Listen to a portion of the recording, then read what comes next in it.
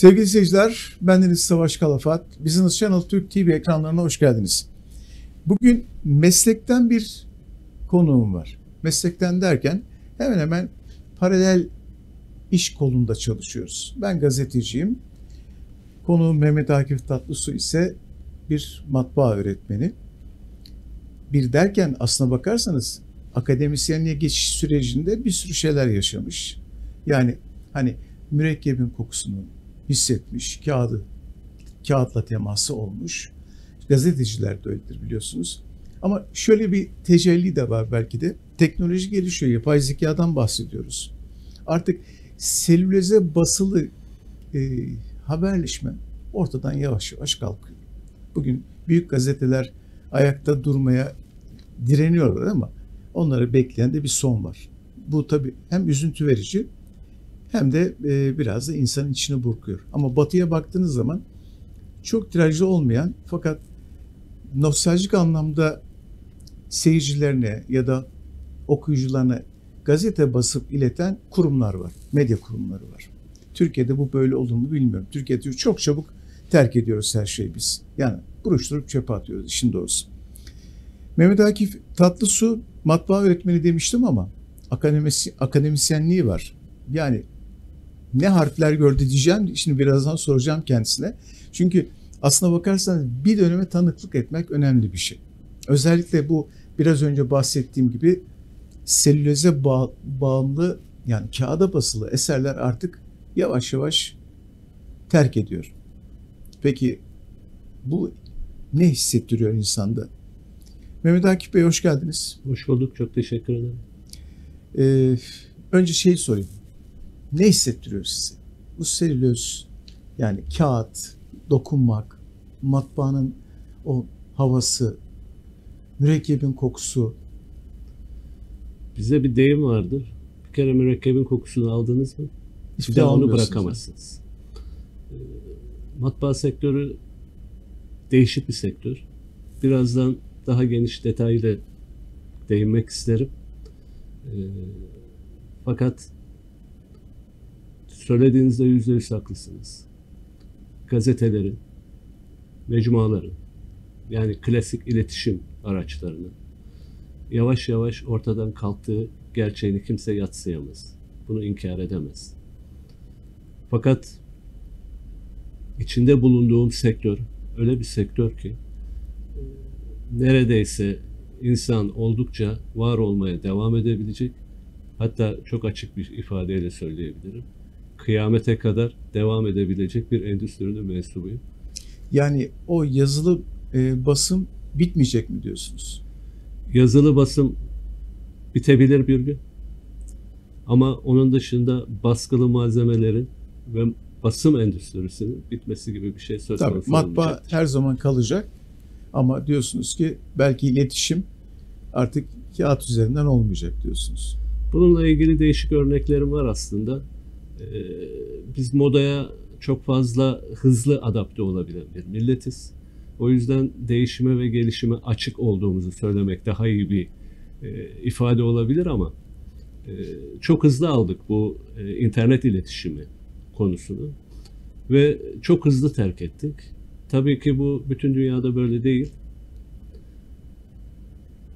Güzel olan şu, çok hızlı aldığımız için çok hızlı da pişman olabiliyoruz. Bunun birçok örnekleri var. Ee, Evet internet iletişimi, cep telefonları vesaire şu anda çok fazla kullanılıyor ama basılı malzemelerin yerine birçok global firmanın ve Türk şirketinin hızlı bir şekilde basılı medyaya ya da iletişim araçlarına geri döndüğünü de tespit edebiliyoruz. Peki e, yani şöyle bir tanım yapabilir misem? Siz mesela bugünün teknolojisindeki bu bilgi alışverişini bir fast food mutfağı, mutfağına benzetebilir misiniz? Yani yazılı önünüzdeki şu kağıt yazılı bir şekilde duruyor. Hı hı. Eğer bilgiye tekrar erişmek istiyorsanız gözünüzde bir hareketle bakmanız yeterli. Ama öte yandan yazılı medyada da şeyde de mesela e, elektronik iletişimde de aramanız lazım. O kadar çok doküman var ki. Fakat bunu koyduğunuz yeri biliyorsunuz. En azından sayfa numarasını biliyorsunuz ya da basılı kütüphanede duran yerini biliyorsunuz. Hı hı. Öbür tarafta bir kuyu var. karanlık bir kuyu. O kuyuda araştıracaksınız. Hani Google'dan bahsediyorum. Google'da yazıyorsunuz karşınıza çıkıyor. Ama orada kirlilik daha fazla belki de. Bu yazılı medyada kirlilik var mı? Yazılı medyada da paralel şekilde bir kirlilik geliştiğine inanıyorum ben. Ee, ancak yazılı ve baskılı medyanın internet medyacılığına göre hala çok masum, hala çok dürüst ve köşeleri olduğuna inanıyorum. İnanıyorsun. Bunda yüzde yüz haklısınız. Peki şimdi gelelim tekrar başa dönelim. Evet. Akif Bey bize kendinizi tanıtır mısınız? Ben biraz tanıtmaya çalıştım ama akademisyenliğinizden bahsettim ama dedim ki geçmişinde ki 40 senelik bir mesleki kariyeriniz var bildiğim kadarıyla. Neler yaşadınız, neler gördünüz? Bundan sonra nereye doğru evrileceksiniz? Yoksa evrilme işi bitti. Ben mesela şöyle tanımlıyorum kendimi. Diyorum ki ben bir sürü apoletler aldım. Genel yayın yönetmeni oldum, genel müdür oldum, televizyonlar ve gazeteler dahil. Ama artık apoletlerim yok. Hı hı. Artık bir misyon edindim. Gelen çocuklara bir şeyler öğretiyorum. Mesela bu müessesede her dönemde ben 15 ya da 20 tane meslek liselerinden öğrenci alıyorum. Hı hı. Ve içeride o, çocuk biraz önce arkadaş geldi bana sor abi ne yapalım falan diye. Şimdi birazdan gideceğim hepsine görev vereceğim. Peki. Ama öğretmek adına görev vereceğim. Çünkü burada geliştirirsem sahada görürlerse okuldaki teorikle pratik birleşir ve birey olurlar. Mesleki birey olurlar. Siz neler hissediyorsunuz onu anlatın bize. Peki. Baştan başlayayım. Ben bir yazar çocuğuyum. Ortaokulu bitirdikten sonra meslek liseleri bu dönem olduğu gibi değildi. Çok popülerdi ve önemli eğitim kurumlarıydı. Babam bana şöyle bir şey söyledi. Oğlum ben yazıyorum. Sayısız kitabı vardır. Sen de basarsın gel matbaacı ol dedi. Matbaa meslek lisesine başlamamla benim matbaa hayatım başlıyor. Matbaa meslek lisesinden sonra bir Marmara Üniversitesi Teknik Eğitim Fakültesi matbaa bölümü mezuniyetim var. Tıpkı sizin hikayenizde olduğu gibi benim de üniversite hayatımda profesyonel kariyerim başlıyor.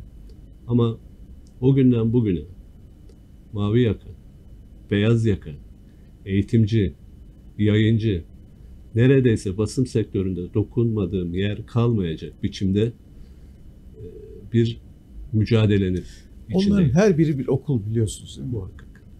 Yani Muhakkak. okuldan mezun alabilirsiniz ama saha okulun kendisidir. Dolayısıyla burada bu sözünü şunla tamamlamak isterim. Bizde alaylı vardır, mektepli vardır. Bütün mesleklerde vardır gerçi. Benimki günümüzün moda tabiriyle hibrit bir kariyer Hı. geçmişi. Yani hem alaylı Hem, hem mektep. mektepli. Şahsen ben de öyleyim.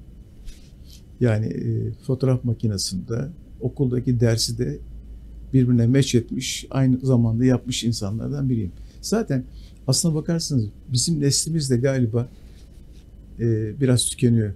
Yani yaşta zaten ilerliyor da e, gençler biraz daha değişik tav- e, tavır içindeler bildiğim kadarıyla. Bu söylediğinizin altını çizmek için şunu ifade edebilirim. Aşağı yukarı aynı yaş grubundayız. Biz en azından kendi mesleğimizde iki tane endüstri devrimi gördük. Yani hurufattan bugün dijital baskıya varana kadar iki büyük endüstriyel devrim gördük. Bu çok önemli bir tecrübe. Bu bundan 20 yıl önce, 10 yıl önce ya da 1 yıl önce bu endüstriye girmiş kişiler için asla göremeyecekleri bir tecrübe ve hayat. Ee, Bu tecrübe zannedersem e, sizi ve beni e, bilgi birikimi açısından farklı bir noktaya getirmiştir. Ve söylenecek çok sözümüz olduğunu da düşünüyorum. Ee, İnşallah bunları en iyi biçimde ifade ederiz ve bunları ifade etme fırsatı verdiğiniz için Peki size de madem teşekkür ederim. e, endüstriden bahsettik, tarihsel gelişimini anlatalım. Biraz açalım o konuyu. Bize Peki. anlatır mısınız? Öncelikle niye basım endüstrisi dediğimi bir e, belirlemek isterim. Çünkü biz matbaa kelimesini çok kullanıyoruz. Matbaa kelimesi Arapçadan dilimize geçmiş bir kelime. Türkçe karşılığı tab etme. Yani basma. Hayatında bir kere olsun elindeki filmleri bir fotoğrafhaneye götürüp karta bastırmış kişi tab etmeye kelimesinin ne anlama geldiğini bilir. Bilir. Uluslararası terminolojiye baktığımız zaman mesela İtalyanca'da stampa, Türkçe'de basma, baskı kelimesini karşılar. Almanca'da drak kelimesi basım kelimesini karşılar. Bu bizim kendi kültürümüze gittiğimiz zaman bizim kültürümüzde de öyle. Ee, Osmanlı tarihinde de basma hanelerden bahsedilir. 100 sene sonra gelmiş biliyorsun. O konuya da değineceğim. Onunla ilgili çok ciddi bir sonra. mit var. O miti bir yıkmamız lazım. Ama esas itibariyle işimizin Türkçe karşılığı basımdır. Ve biz bu yüzden bu işe basım endüstrisi diyerek bir çerçeve çizmek zorundayız. Bugün bu %80, %90 kabul edilmiş bir terminolojidir. Ee, ve böyle devam edeceğini de ümit ediyorum. Elbette matbaa kelimesinden vazgeçemeyeceğiz. Ben de sizin sorularınızı cevaplarken bol miktarda matbaa kelimesi kullanabilir olacağım. O yüzden eğer bir işin içinde baskı varsa yani bir görüntüye herhangi bir baskı altı malzemesi üzerine aktarma işi varsa biz o işe gelin basım endüstrisi diyelim. Biraz önce mesela şöyle bir şey söylediniz. Yani insanlık var oldukça baskı ortadan kalkmayacak. Bu isterseniz o büyük makinalarda e, yapılan baskıdan tutun da ya da dijital baskı dediğimiz yani belki de laser'ın yakmasıyla ya da daha değişik bir mürekkep kullanarak ya da kullanmayarak yapılan baskıların hiçbir zaman tükenmeyecek. Bu şey anlamında mı? Biraz ambalaj sektörüyle ilgili mi? Mesela diyelim ki bir ürün ürettiniz, bir kutu içine koyuyorsunuz. Hemen genişleteyim. Çok iyi bir noktadan giriş yaptınız Sarhoş Bey. Teşekkür ederim. Ee, Matbaa ya da basım deyince herkesin aklına tıpkı konuşmamızın başında olduğu gibi gazete, dergi, kitap gibi konular girer, ürünler girer. Evet. Ee, ve evet, internet yayıncılığı ya da internet kendi başına e, bu ürünlere ciddi anlamda bir darbe vurmuştur. Çok basit bir örnek. Siz benden çok daha iyi biliyorsunuz. Ee, Bizim gençliğimizde bir gazetenin tek başına yaptığı tirajı bugün Türkiye'deki Mümkün değil. gazeteler toplamında yapamıyorlar. Mümkün değil. Ancak altını çizmek istediğim hadise şu ki basım endüstrisi sadece bunlarla sınırlı değil. Ve değişim ve gelişim hayatımızın kaçınılmaz bir parçası. Bu açıdan sizin de değindiğiniz gibi bir iki başlık altında bunu bir değerlendirmek isterim. Ambalajla başlayalım. Evet. Hayatın her anlamında, her noktasında mutlaka matbaa, basım endüstrisi var. Örnek vereyim. Bir tek çikolata alacaksınız. Bu çikolatayı e, yiyecekle temasta problem olmayan bir kağıtla kaplıyoruz. Birinci ambalaj. Sonra bunu üzerine baskı yaptığımız bir diğer ambalajla, nihai tüketicinin göreceği ambalajla kaplıyoruz. Yani içinde üzerinde uyarılar olan ya da içerik olan. Kesinlikle. Bu ikinci ambalaj basım endüstrisinin için. Sonra bunu 10'lu, 12'li, 20'li her neyse e, rafta gösterilmek üzere kutular içerisine koyuyoruz. Üçüncü ambalaj basım endüstrisinin işi. Sonra bunu markete ulaştırırken daha büyük koliler içerisine bu kutuları yerleştiriyoruz. Dördüncü ambalaj ve basım endüstrisinin işi. Hatta bunun reklamını hazırlıyorsunuz. Billboard'a koyuyorsunuz. O da bir başka basım. Kesinlikle öyle. Oradan hemen etikete geçiş yapayım. Çok özür dilerim. E, Etiket bildiğiniz gibi kanuni bir zorunluluktur. Ve ürünün içerisindeki e, bütün içeriği bildirmek zorundadır. Evet. Bu kanuni zorunluluk çerçevesinde üzerinde etiket olmayan herhangi bir şey yok. Olamaz. O yüzden nihai tüketici gözüyle baktığınızda bir markete girdiğinizde üzerinde etiket olmayan herhangi bir ürün edinemeyeceğinizde ya da o ürünü ne olduğunu anlayabilmeniz için üzerinde bir etiket olması zorunluluğu olduğuna göre e, bu da basım endüstrisinin işidir ve hayatın içindedir. Yani sonsuza kadar diyorsunuz. Biz bu basım işinden vazgeçmeyecek insanlık diyorsunuz. Müsaadenizle biraz daha devam edeyim. Tabii buyurun. E, dekora gelin. Şu anda bu çekimi yaptığımız stüdyonun zemini parke kaplı. Evet. Bu parkelerin üzerinde, laminat parkelerin üzerinde baskı var. Basım endüstrisinin Evet. işi. Evimize gelelim. Evimizde perdelerimiz var. Basım endüstrisinin işi. Duvar kağıtlarımız var. Basım endüstrisinin işi. Beyaz eşya kullanıyoruz. Hepsinin üzerinde etiketler var. Markalar var. Kullanma talimatları var. Basım endüstrisinin işi. Camların üzerinde baskılar var. Basım endüstrisinin işi. Çıkalım dışarı otomobile binelim. Otomobilin hemen her yerinde hız göstergesinden başlayıp benzin deposuna varan her yerinde bir takım baskılar var. Basım endüstrisinin işi. Çıkalım dışarıya arabamızdan Yani inelim. yelpaze çok geniş diyorsunuz. Çok geniş. Kafamızı sağa sola çevirelim şöyle bir bakalım. Billboardlar göreceğiz. Tabelalar göreceğiz. Bunların hepsi basım endüstrisinin işi. Bitti mi? Hayır bitmedi. Günümüzün en önemli konusu nedir? Elektronik basılabilir elektronikler. Yani RFID örneğini verebilirim. RFID basım endüstrisinin işi. Yani işi ne kadar elektronikleştirirseniz elektro, e, elektronikleştirirseniz elektronikleştirin içinde mutlaka basım olmak zorunda. Ha bu offset olur, tipo olur, flexo olur, rotogravür olur, serigrafi olur fark etmez. Biz bir şeyi basmazsak hayata devam edemeyiz. Bunu da şuradan ispatlamak isterim. Hayatın kendisi ekonomidir. Ülkemizin ekonomisinden bahsedebiliriz. Global ekonomiden bahsederiz. Ekonomi dediğimiz hadise de ticarettir. Yani alışveriştir. Bir şey alıp vermek. Bir şey alıp vermenin tamamı da basım endüstrisiyle alakalıdır. Yani basım endüstrisini aradan çıkaramazsınız. Çıkardığınız anda alışveriş biter, ticaret biter, ekonomi biter. Çok önemli bir örneğim var. Size söylememi ister misiniz? Buyurun. Para. Para olmadan alışveriş yapamıyoruz. Ticaret yapamıyoruz. Ekonomiyi Ama yönetemiyoruz. şimdi bakın Parayı onun, kim onun basıyor? için de tedbirler alınıyor. Coinler çıkmaya başladı. Artık belki elektronik paraya geçiş yapacak. Kesinlikle. Hani işte teknoloji bakın bir şeyleri zorluyor.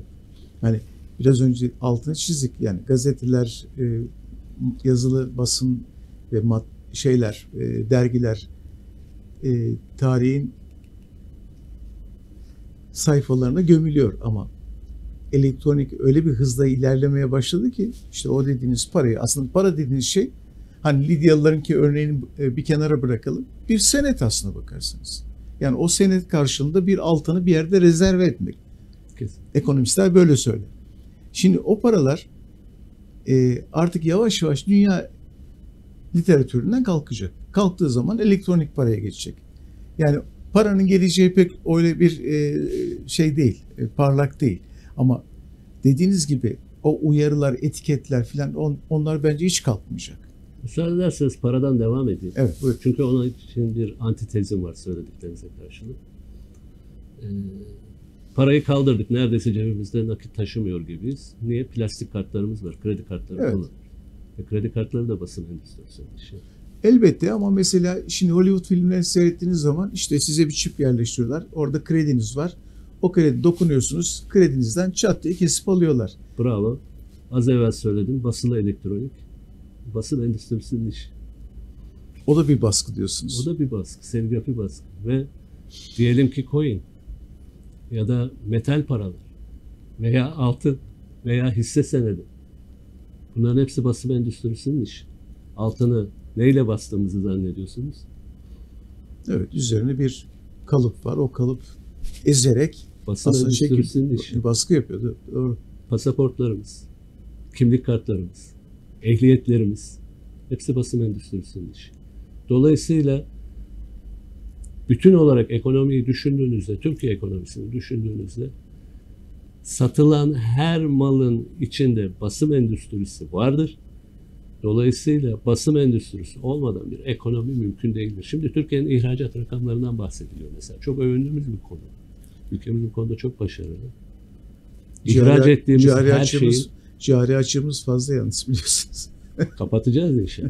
İnşallah. Ve bunu da e, ağırlıklı Hayır, bir olarak- gerileme mesela e, bundan 15 gün önce aj- ajanslara yansıyan bir şey vardı, bir haber vardı. Cari açıkta gerileme başlamış.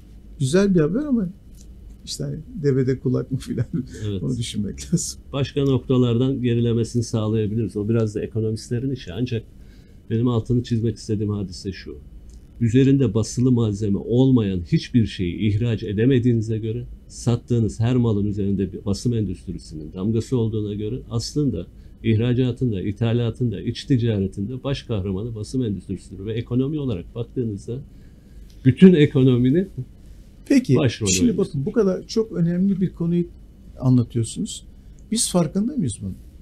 Özellikle mesela gençler farkında mı? Bunun için meslek olarak seçiyorlar mı? Ya da seçtikleri zaman karşılarına ne çıkıyor? Ya da ailelerinden ya boş ver matbaacı mı olacaksın gibi bir eleştiri mi geliyor? Yani iş alanları bir kere var mı gençler için? Mesela matbaa, meslek okulları. Bunların iş alanları şu anda mevcut. muhakkak birazdan o konuya gelmek isterim. Günümüzdeki yerine gelmek isterim. Ama bunun için biraz tarihine bakmamız lazım. Ee, ve bir de bizim matbaa ve basım endüstrisiyle ilgili bize öğretilmiş bir takım yanlış bilgiler var. Bize öğretilmiş derken bana da öğretilmiş. Okuldayken, lisede, Evet. üniversitede bana da öğretilmiş bir takım yanlış bilgiler var. Bu bilgileri bir güncellememiz lazım. Ee, bugün tarihçiler yani genel tarihçiler ve mesleki tarihçiler, meslek tarihçileri bu konuyla ilgili çok ciddi araştırmalar yapıyorlar. Ee, ve ortaya yeni bir takım bilgiler çıkıyor. Matbaanın tarihine baktığımız zaman bize öğretilen şuydu. 15. yüzyılda Almanya'da Johann Gutenberg matbaayı icat etti. Evet. Duydunuz değil mi bunu? Evet. Halbuki matbaanın tarihine gittiğimiz zaman nereye gidiyoruz Savaş Bey biliyor musunuz? Milattan önce 6. yüzyıl. Johann Gutenberg ne yaptı peki bu kadar meşhur oldu? Johann Gutenberg'in yaptığı şey hareketli harfleri kullanmak ve bir baskı düzeni geliştirmekti. Şimdi esas enteresan noktaya gelmek istiyorum. Johann Gutenberg'in kurşundan ve bir alaşımdan ürettiği hareketli harfler tam olarak söyleyeceğim. Türklerin ana yurdu olan Kansu eyaletindeki Dunhuang mağarasında bulunmuş biliyor musunuz? Bilmiyordum. İşin Ve-. Bu hareketli harfleri ilk kullananlar Uygurlar. Uygur Türkleri. Uygur Türkleri ve Gutenberg'in vatandaşı olan arkeolog Alman Helmut Bossert'e göre matbaa bir Türk buluşudur. Kendi vatandaşı Johann Gutenberg'le ilgili bu bilgiyi bir arkeolog olan vatandaşı bu bilgiyi bize gerçek yönüyle veriyor. Şimdi bunu biraz hamasi bir söylem olarak değerlendirebilirsiniz. Hani Türkiye'de yaşıyoruz, Türküz, Türkler buldu vesaire falan ama tarihi gerçekleri de Onlar neye basıyorlarmış? Deriye mi basıyorlarmış? kullanılan farklı baskı altı malzemeleri var. Ki biz üzerine baskı yapılan her şey için bu kelimeyi kullanıyoruz. Baskı altı malzemesi. Deri olabilir. Papyrus olabilir. Mısırlardaki Yaprak papyrus, olabilir. mesela Mısırlardaki papyrus aynı şey değildir değil mi? Papyrus aslında bugünkü kağıt kelimesini karşılayan paper'ın da Evet, doğru. ana malzemesi. E, Papyrus bir bitki. Bu bitkinin yaprakları üzerine baskı yapmışlar. Yani bir baskı altı malzemesi. Ama Mısırlar, Mısırlardaki baskı değil zaten. O, o mesela yazmak, e, basılı basılı demeyelim ona. E, papyrus mesela, papyrüste yazılı kayıtlar var. O kayıtlar baskıya girer mi? Eğer bir kalıp oluşturulup basıldıysa evet, Evet, onlar girer. baskıdır. Ama El öyle bir kayıt yok. Öyle bir kayıt yok. Öyle bir kayıt kadarıyla. yok. Şimdi el yazması deyince benim aklıma başka bir şey geliyor. Savaş. Bu en ciddi mitlerimizden, yanlış bilgilerimizden bir tanesi. 15. yüzyılda Johann Gutenberg matbaayı buldu. Hayır, değil. Ve Türkiye'ye matbaacılık 300 yıl sonra geldi. Osmanlı'ya. Şimdi bu tamamen yanlış bir bilgi. Niçin yanlış olduğunu ben size kısaca özetleyeyim. O zaman yanlış bilgiye ben de sahibim. Çünkü ben de biraz önceki cümlemde öyle, öyle bir kelime kullandım. Geç geldik dedim. Evet, geç gelmedi aslında. Çünkü 15. yüzyıl bakın Johann Gutenberg'den sonra 15. yüzyıl ve 18. yüzyılda Osmanlı'ya geldiği söylenir. Halbuki Evliya Çelebi seyahatnamesinde İstanbul'da gördüğü basmahanelerden bahsediyor. Biraz daha tarihsel bilgi vereyim.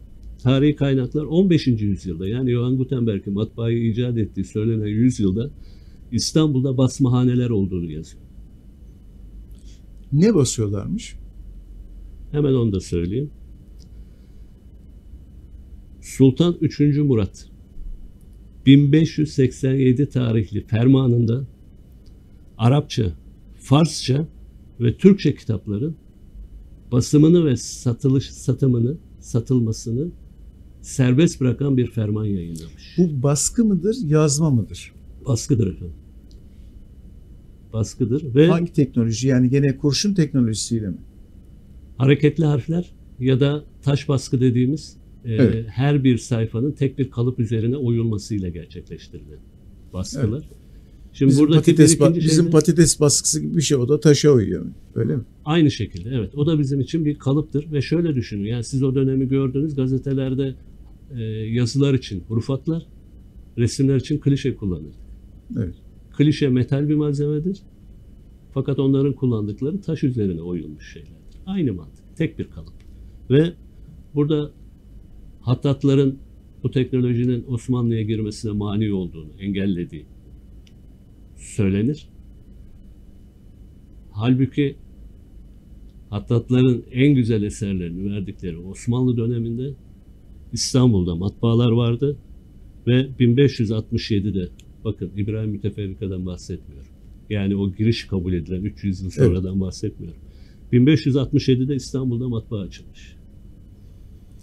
1627'de ilk Rum matbaası kurulmuş. İlk bastığı eser de Yahudiler aleyhine bir risaleymiş. Enteresan. Günümüzün e, güncel e, gündemine göre de çok uygun bir konu bu. Dolayısıyla aslında 15. yüzyılda ve 16. yüzyılda biz İstanbul'da ve diğer Osmanlı coğrafyasında matbaa yani gerçek ismiyle basmahane sahibiydik ve basıyorduk. Ha, bunun yanı sıra hattatlardı. Çok güzel hat yazıyorlardı. El yazmaları yazıyorlardı. Elbette. Ve onlar da piyasadaydı. Bakın burada hadise şu. Matbaacılığın genel adı, terminolojideki adı bugün çok fazla değeri olmasa da print and publishing'tir. Ve bu işin temeli dindir. İnsanlar dini bilgileri, hangi din olursa olsun, hangi yüzyıl olursa olsun, bu bilgileri daha çok insana ulaştırmak için bu yönteme başvurdular. O yüzden print and publishing, basım ve yayım. Yayın. Elle yazdığınız şey çok uzun sürede üretildiği için bu yöntemi kullandılar. Uygur Türklerinden beri gelen hareketli harfleri kullanarak bu yöntemi kullandılar ve dini kitapları yani aslında ulaştırmak istedikleri dini bilgileri halka, herkese ulaştırmak için bu baskı teknolojisini kullandılar. Yani ne 14. yüzyıl ne başka bir şey. Don Bu Juan Uygur, mağarasına Uygurlardaki mesela taş baskılar e, hareketli harfler mi yoksa şey mi? Klişe gibi tek bir sayfa mı? Alman arkeoloğun verdiği bilgi, onayladığı bilgi hareketli harfler. Oo çok enteresan. Hareketli harfler. Burada teknik bir detay var. O nedir? Hareketli harfler tahtadan mı oyuldu? Metalden, çelikten mi yapıldı? Ve boya mı kullanıldı yoksa başka bir şey? Muhakkak boya kullanıldı. Boya dediğiniz şey aslında biz boya demiyoruz ona, mürekkep diyoruz. Mürekkep aslında bitki köken bir şey biliyorsunuz. Köklerden elde edilen e, pigmentlerin Halı- ezilerek halılar, kilimler, kök boyalar. gibi. Evet, kök boyalar. Dolayısıyla mürekkep en baştan beri zaten var. Ve hareketli harfler de Uygur Türklerinden beri var. Yani birinci yıkmamız gereken en önemli konu bilgi bu. Savaş Peki. Bey. Şimdi e, yine size hazırlanmış sorulardan bir tanesi var. Nitelikli iş gücü sağlamak için, iş gücü kayıplarının önüne geçmek için basım işletmeleri ve İK departmanlarına tavsiyeleriniz nelerdir? Evet. Gençlere tavsiyelere de bahsedecek miyiz? E, ondan da bahsedin. Önce mi, sonra mı? Nasıl yapalım? Birlikte konuşalım. Birlikte konuşalım. Peki. Bugün basım endüstrisinin en büyük problemi iş gücüdür Savaş Bey. Aslında bu sadece basım endüstrisi değil. Bütün endüstrilerin günümüzde en büyük problemi iş gücü. Bakın kalifiyeden bahsetmiyorum. İş gücünden bahsediyorum. Elbette kalifiye elemana da çok fazla ihtiyaç var ama e, mavi yaka dediğimiz üretimde çalışacak iş gücüne de çok fazla ihtiyacı var. Bunun tabii te- temel bir takım sebepleri var. Hani çok bilinen e, kelimelerle ifade edebilirim. Yeni neslin e, Latin harfleriyle adlandırmaktan hoşlanmıyorum ama yani işte 2000'den sonra doğmuşların, 2010'dan sonra doğmuşların gibi yeni neslin çalışmayla ilgili kaygıları ki biraz sonra bunları e, aşmak için onlara bir takım tavsiyelerde bulunacağım. Ve e, yanlış ekonomik politikalar ki bence en önemlisi ve piyasaya bugün çıksanız 100 tane matbaaya sorsanız yüzünden de aynı cevabı alacağınız EYT uygulaması. Çünkü iş gücünde çok ciddi anlamda bir daralmaya sebep oldu. Her halükarda ister mavi yaka olsun ister beyaz yaka olsun basın endüstrisinin şu anda çok ciddi anlamda bir iş gücüne ihtiyacı var. Ve bu iş gücü kaynağı da gençlerimiz. Geliyorum kaynaktan. Kaynaktan geliyor. Nasıl geliyor? Mesleki Teknik Anadolu liselerinin matbaa alanları var. Bu alanlarda okuyan yüzlerce çocuğumuz var. Ayrıca devletimizin birkaç yıl önce başlattığı çok önemli, çok güzel bir uygulama var. Çıraklık eğitim merkezlerinin geliştirilmesi konusunda.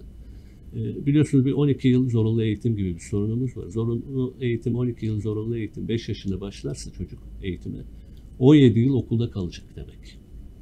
E, fakat çıraklık eğitim merkezleri ve açık lise uygulamaları bu 17 yılın e, son 4 yılını öğrencilerin e, hem piyasada çalışarak hem de okuyarak geçirmelerine yardımcı olmuştur. Kaldı ki Mesleki Teknik Anadolu liselerinin çalışma sistemi de böyledir. Öğrenci birinci sene, ikinci sene okur, ondan sonra staja çıkmaya başlar. Ve para kazanır. Ve yani para kazanır. bildiğimiz asgari ücret değil ama Evet. bir, bir oranda da para kazanır. Kesinlikle. Madem gençlerden bahsetmeye başladık, e, bu noktada söyleyebileceğim en önemli şey ve gençlere yaptığımız en önemli tavsiye şudur. Bir iş mi edinmek istiyorsun, bir meslek sahibi mi olmak istiyorsun? Bu sorunun cevabını meslek sahibi olmak istiyorum. Yani sürdürülebilir bir mesleğim olacak. Bugün, 10 yıl sonra, 20 yıl sonra, 30 yıl sonra da yapacağım bir mesleğim olsun istiyorsa gençler bir mesleğe yönelmeli. Basım endüstrisi içinde böyle, matbaa alanı içinde böyle. Bizim bu gençleri sektörün içinde tutmamız lazım. Bugün bunun için sanayi odaları, ticaret odaları, bir takım dernekler, vakıflar, birlikler, bütün STK'lar haldır haldır çalışıyorlar ama çok fazla yol kat edebilmiş değiliz. O yüzden en başta bahsettiğiniz akademisyenlik aslında misafir öğretim görevliliği konusunda ki çalışmalarımın en önemli sebebi de budur. Gençlere bu sektörün en başta anlattığımız biçimde nasıl bir sektör olduğunu ve onlara burada nasıl bir gelecek olduğunu anlatabilmek. Gençlerimiz maalesef büyük oranda iş edinmek istiyorlar. Para kazanmak istiyorlar. O parayı kazanabilmek için de ne yapıyorlar? Market taraflarına ürün diziyorlar. Küçük bir kursa gidip bellerine bir job takıp güvenlik görevlisi oluyorlar. Bir motosiklet ehliyeti alıp kurye oluyorlar. Ve bir matbaada o anda kazanacakları paranın iki ya da üç katını kazanıyorlar ve bunu bir marifet sayıyorlar. Halbuki bunlar sürdürülebilir meslekler değildir. Bunlar bir iştir. Para kazanmak için yaptığınız şeydir. Bizim gençlere tavsiyemiz eğer bir ucundan matbaa alanına, basım endüstrisine ulaştıysanız, meslek sesini okuduysanız ya da çırak olarak başladıysanız burada sebat edin ve devam edin. Çünkü sizi, çocuğunuzu, torununuzu, torununuzun torununu da aynı meslekte çalışırken eğer ömrünüz varsa görme şansınız var. Çünkü bu meslek devam ediyor. Kıyamete kadar devam edecek. Ama bilmiyorum kuryelik devam eder mi? E-ticaret bu kadar hızlı yürür mü? Güvenlik görevlisi olmak bu kadar popüler olur mu? Ya da marketlere, raflara var. robotlar Yani- mı dizer? Onları Evet, bilemiyoruz. evet. Peki. E, vaktimiz de hayli ilerledi. E, son fikirlerinizi alayım. Özellikle bu kutu katlama, yapıştırma pazarı hakkında biraz bilgi verin lütfen. Sonra Bu- da son cümlelerinizi alayım. Peki kutu katlama pazarına hiç girmeyelim bence madem vaktimiz var. bant yayını olduğu için rahatlıkla konuşuyorum. Ee, işletmelere de bir tavsiyem var benim. Peki buyurun. Çünkü onlar şikayet ediyorlar. İş gücü bulamadıklarından. Bunu bir örnekle hızlı bir şekilde açıklayayım. Bir futbol takımı 30 kişiden oluşur. 40 kişiden oluşur. Kadro geniştir. Hatta altyapıları vardır. Altyapılarda da bu kadroyu destekleyecek insanları yetiştirirler. Futbolcuları yetiştirirler. Ama Savaş Bey sahaya çıkan kadro 21 kişidir. Sahada da 11 kişi oynar. 11 kişinin çalıştığı bir basım evi, bir matbaanın kenarda bekleyen 10 tane yedeğinin olması lazım. Var mı öyle bir yedek? Yok. İşletmelere tavsiyemiz de budur. Yedek kadronuzu kurun. Yedek kulübenizi hazırlayın. Ve her an herhangi bir ekonomik sebepten dolayı ayrılma ihtimali olan mevcut çalışanınızın yerine yenisini yetiştirin. Nereden İkame bulacağız bunları? Lütfen matbaa alanda okuyan lise talebelerimizle, ön lisans, lisans okuyan talebelerimizle temas halinde olun ve onları istihdam edin. Ve onları geliştirin, onları öğretin. Bunun Avrupa'da çok örnekleri var. Avrupa'daki yüzyıllara dayanan aile şirketlerinin, fabrikalarının hepsinin kendi içinde küçük okulları vardır Savaş Bey. Mutlaka gittiğinizde, yurt dışı seyahatlerinizde, haberlerinizde bunları görmüşsünüzdür. Sürekli 14, 15, 18 yaş aralığında çocuklar fabrikanın bir köşesinde çalışırlar. Üretimde olmasa bile gölge kabine gibi bir gölge üretim alanında çalışırlar ve bir gün çok yakın bir zamanda ayrılan bir ustanın yerine geçecekleri zamanda yüzde yüz hazır olurlar. Biz niye yapmıyoruz? Matbaalara sesleniyorum. Lütfen yedek kadronuzu kurun. Valla e, çok e, iyi bir mesaj verdiniz. Çünkü ben de burada mesela benzer şeyler yapıyorum. Burada gelen mesela gazetecilik bölümünden gelen öğrencilere bile radyo televizyonda öğretiyorum. Çünkü benim burada bir de çıkarttığım bir dergi var. O dergiyi biraz keyif için çıkartıyorum. Biraz nostaljik olarak çıkartıyorum ama etkisini de görüyorum. Çünkü buraya gelen konuklarımız o dergide de yer almak istiyorlar. Ve o dergiyi de öğretiyorum onlara. Nasıl yapıldığını, haberin nasıl yazılacağını, resmin nasıl koy, nizampacı nasıl olacağını. Ve baskıya gönderdiğim zaman da o dergi fiziki olarak elinize geliyor. Ama burada rejiye de sokuyorum insanları. Televizyon yayıncılığının nasıl yapıldığını gösteriyorum. İnternet yayınlarımız var. Orada da mesela haberciliğin nasıl, haberin nasıl oluşturulması gerektiğini gösteriyorum. Yani biraz pazarlama belki de. Öyle diyelim. Haberi pazarlamak Hı hı. ya da yayını pazarlamak. Bunlar önemli şeyler. Çocuk bunlarla donanımlı bir şekilde piyasaya çıktığı zaman seçim yapıyor.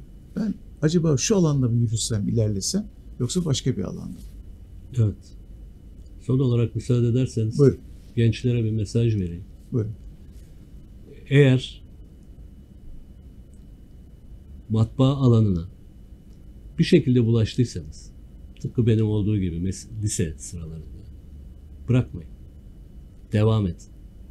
Ve hayaliniz yeni medya, youtuberlık, influencerlık ya da bir masa başında beyaz bir bilgisayar ekranının karşısında kulaklarınıza taktığınız kulaklıklarınızla müziğinizi dinlerken güya tasarım yapmak, grafik tasarım yapmak olmasın. Üretime katılın ve Türkiye ekonomisine katkıda bulunun.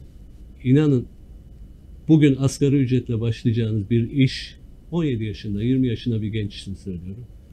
Size yıllar sonra çok büyük bir deneyim hatta Savaş Kalafat'la karşı karşıya oturma fırsatı verecek. Eyvallah. Peki, çok teşekkür ederim. Peki, e, çok güzel konuştuk. Biraz derinlikli konuştuk aslına bakarsınız ama dediğiniz gibi konular açıldıkça o derinliğin çerçevesi de değişiyor. Ama e, ben de sizden bir şey öğrendim. Özellikle baskıyla ilgili. Mesela e, Uygur Türklerinin ilk hareketli harfleri çıkarttığını bilmiyordum. Bu da benim eksiğimmiş. Öğrenmiş oldum. Bunlar önemli şeyler. Yani ben bu bilgiyi başkasına satarım. Önemli olan bilgi zaten yayılmak zorundadır. İnsanoğlunun tekamülü böyle bir şey zaten. Print and Publishing dedik değil mi Evet. Savaş Bey? Public relation. Evet. evet. Peki çok teşekkür ederim yayına katıldığınız için, bilgileri paylaştığınız için. Ben size teşekkür ederim bana bu fırsatı verdiğiniz için. Buluşmak dileğiyle. Hoşçakalın.